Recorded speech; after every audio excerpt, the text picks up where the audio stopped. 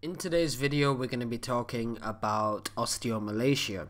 Now this is known as a defect in the mineralization of bone and in fact the actual translation of it means soft bone. The cause of osteomalacia is due to either vitamin D deficiency, phosphate deficiency or an inherited deficiency in alkaline phosphatase. When we're talking about the pathogenesis of osteomalacia, I want you to have a look at this diagram here. So humans produce vitamin D from sunlight and this vitamin D is processed in the liver. From here it's turned into calcidiol and what calcidiol does is it decreases the excretion of calcium from the kidneys and it increases calcitriol formation. Now calcitriol acts in the small intestines and promotes the increased absorption of calcium. So if we have less vitamin D, then that means we have less calcitriol formation and calcidiol formation.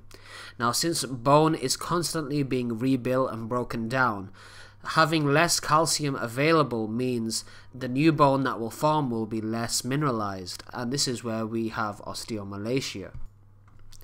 The symptoms of osteomalacia include bone pain, muscle weakness, a waddling gait, which looks like this, easy fracturing, pelvic flattening, and bending of bone. The diagnosis of osteomalacia is usually done by an x-ray examination and if there's appearance of something that looks like rickets or pseudofractures it's usually uh, the diagnosis is osteomalacia. However, we can do other things like bone scans and a bone biopsy. The treatment of osteomalacia involves vitamin D supplementation, so this can be around 10,000 international units of vitamin D per week.